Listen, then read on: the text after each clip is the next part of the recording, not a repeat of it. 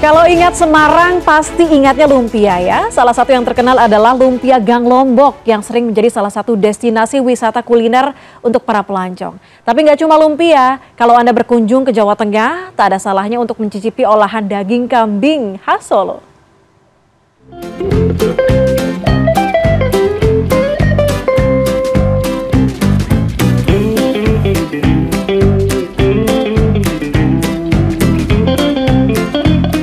Lumpia Gang Lombok bukanlah nama yang asing di dunia perkulineran kota Semarang, Jawa Tengah.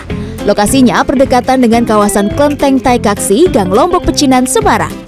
Bahannya sederhana, yakni ada telur, rebung, potongan ayam dan udang yang diisikan ke kulit lumpia.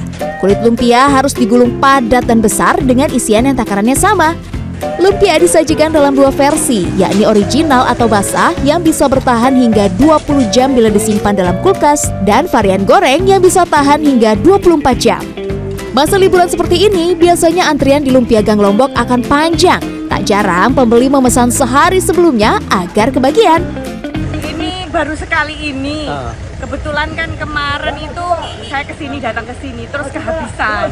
Akhirnya juru pesen lagi, terus uh, pesan kita ambil uh, hari ini. Hmm. Jadi nunggu antriannya panjang ini baru dapat enak ternyata. Kini lumpia Gang Lombok sudah dikelola oleh generasi kelima dan terus menjaga kualitas rasanya.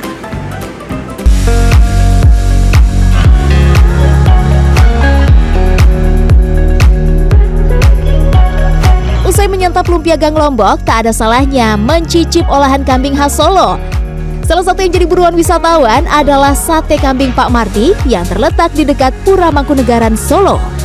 Warung yang berdiri sejak tahun 2004 ini tak hanya menyajikan sate kambing, namun juga menyediakan beragam masakan serba kambing. Mulai dari gulai, tongseng, sate buntel, sate mentega, hingga tengkleng. Hmm, saya jadi penasaran seperti apa sih rasanya? Hmm, sate saya sudah datang bersama tengkleng dan juga sate mentega ya. Kita cicipin gimana rasanya? Hmm, dagingnya empuk dan karena dia dimasak menggunakan gula Jawa dan juga asam Jawa, jadi memang berbeda dari sate kambing biasanya. Saya makan dulu ya. Ada yang mau? Hidangan serba kambing Pak Mardi memang tidak ada yang bawa perengus. Rasa sate menteganya pun gurih dan meresap ke dalam daging kambing yang empuk.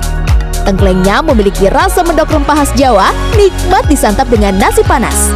Mulai dari Rp30.000, pengunjung sudah bisa menikmati satu porsi hidangan kambing.